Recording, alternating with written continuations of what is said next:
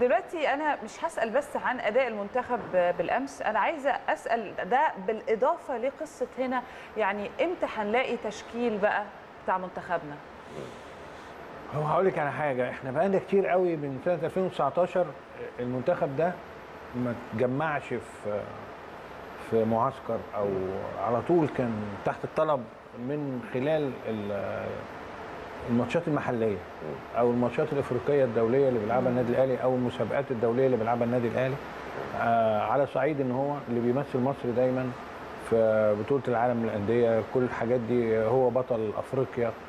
فدي كانت بتبقى بمثابة آه، اشتراكات قوية جدا. ولكن. المنتخب ليس كله النادي الأهلي. آه يمكن ثمانيه من النادي الأهلي. القوام الأساسي النادي الأهلي دايما كما إحنا متعودين يعني.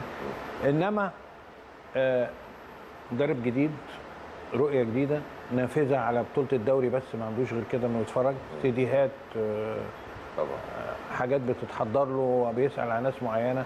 توسم في ناس في الدوري كانوا في حالة جيدة آه، زي مروان حمدي كده.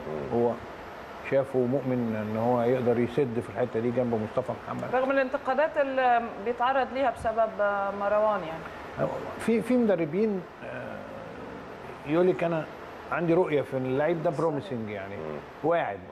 أفضل أديله كتير تحت الضغط وتحت ال- الشغل الجامد يعني آه، ممكن يطلع منه خامة. هو عاجبه جسمه عاجبه الالتحام بتاعه جيد بيعرف يشوط على الجول بيعرف يعمل اشتراكات حاجات زي كده يعني.